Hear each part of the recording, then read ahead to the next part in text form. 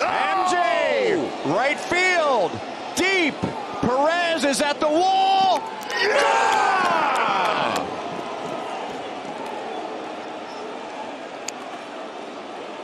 What a time to get your first career pinch hit. It was a three-run Jimmy Jack. Beautiful. And how about that use of the bench?